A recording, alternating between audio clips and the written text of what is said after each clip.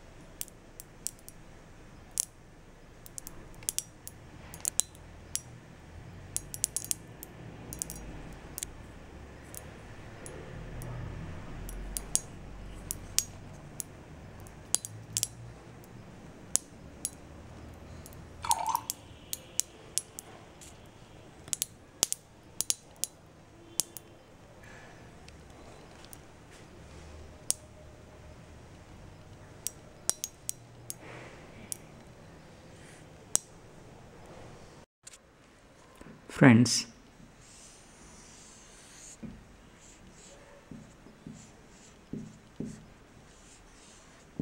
so if these silica balls are eaten, it can irritate your GIT. When these silica balls are inhaled, sorry, uh, inhaled, it can irritate your lungs when they go in the eyes again they irritate the eyes and they irritate the skin.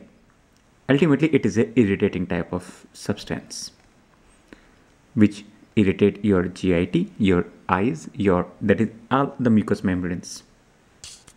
So it should be avoided. The eating should be avoided and they should be keep kept away from the children. But they are not toxic